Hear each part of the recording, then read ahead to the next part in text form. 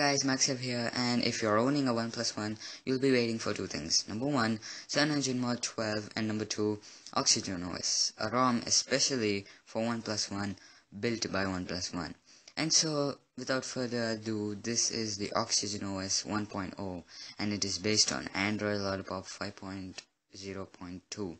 And so, it's not the latest version of Android, but an update to 5.1 might be coming soon favorite feature in this is in the notification center so if you go ahead and click the quad box up there um, you can move uh, you can move and enable and disable toggles what you want in your notification center I think this is a very cool feature very handy in um, um, rush time and you want your favorite settings there so it's a very good uh, thing.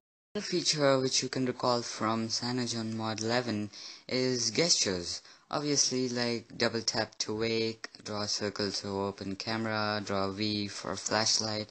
So it's there from Cyanogen Mod 11, 11s.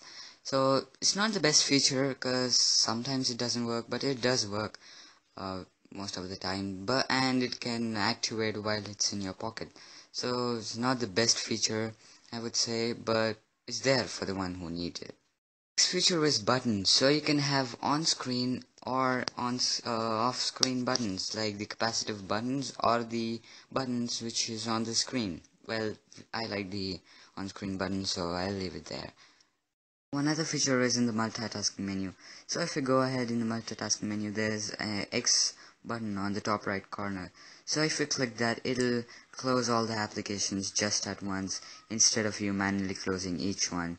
Uh, it'll save you a lot of time. So this is a very handy feature. It's a good feature. And there's this the camera app. By default it uses the google camera app which takes great pictures though but doesn't support 4k videos. So you have to download the OnePlus One camera or the cyanogen that is the cyanogen mod camera to take 4k videos so that's not a good thing which Cyan uh, OnePlus One did and that's not the only thing, it doesn't have screencast already installed, just like in Cyanogen mod does. So you have to install Super SU to get root access and then install screen, uh, screen recorder. So that is a good feature which many of them might use, so they didn't think about that. It's bad of OnePlus.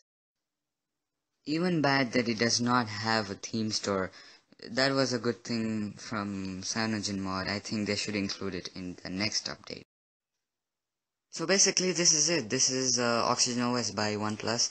So I think this needs a lot of inclusions and fixes. So I guess in the next uh, update they should probably do this. Uh, let's see about that. But then I think we should upgrade to Cyanogen Mod 12S